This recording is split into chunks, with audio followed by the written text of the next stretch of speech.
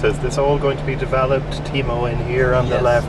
Yes, uh, is, is the, this, this actually is uh, what I that belongs actually to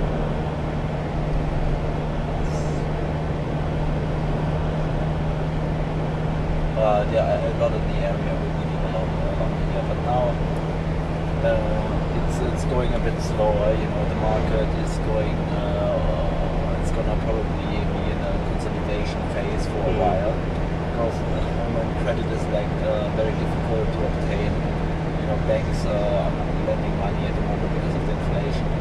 So that will have a bit of an effect on the real estate market in the next few years. Can locals get mortgage finance? Yeah, but uh, the problem is the interest rates. It's about, uh, at the moment, I think it's like 21, 22%. so you would think twice whether to obtain finance. So uh, that's, that's the thing, you know. Well, it has a little bit of a slowdown effect, especially in the, in the, in the city markets as well. You know, investors are not uh, that quick in buying anymore. And, um, but it's maybe good, you know. The market was uh, was quite heated. A lot of projects coming onto the market. So now, uh, you know, it's going to be the good developers. Yeah. They can still afford to build and they can still afford to continue construction and, uh, and launch new projects. And uh, yeah, it will be consolidation. Did a lot of projects fail in 2008, 2009?